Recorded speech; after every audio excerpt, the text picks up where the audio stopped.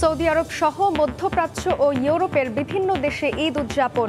বিশ্বের সবচেয়ে বড় জামাতে মুসলিম উম্মার সুখ শান্তি ও উন্নতি কামনা করোনাকাল পেরিয়ে উৎসবে স্বস্তি। করোনার পরে প্রথম জামাতে নামাজ পড়লাম। কিছুদিন পরে আমরা সবাই সুন্দরভাবে পরিপূর্ণভাবে যাপন করতেছি আলহামদুলিল্লাহ। আজকে এই জামায়াতে আমরা খুব মিস করছি আমাদের দেশে আত্মীয় স্বজন। মিল রেখে বাংলাদেশের তেরো জেলায় জামাত আয়োজন। কাটছে না বিতর্ক।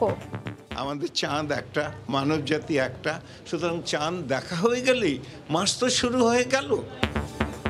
আগামীকাল প্রধান জামাতের জন্য প্রস্তুত জাতীয় ঈদগাহ। কালকে নামাজ পড়তে আসব কখন কোন গেট দিয়ে ঢুকবো বিস্তারিত দেখার জন্য এখন আসা।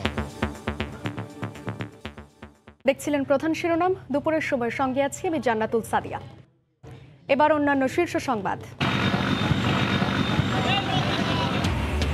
শেষ দিনেও বাড়ির পানে ছোটা।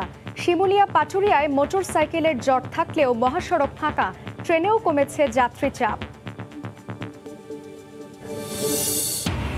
ঈদের দিন রাত থেকেই রাজধানীর অনেক এলাকায় আটচল্লিশ ঘণ্টা থাকবে না গ্যাস। আনন্দ ঘন সময়ে এমন সিদ্ধান্তে ক্ষুব্ধ গ্রাহক। হরতাল অবরোধে ব্যর্থতার অভিজ্ঞতা থেকে বিএনপি এবার ভাবছে আন্দোলনের নয়া কৌশল।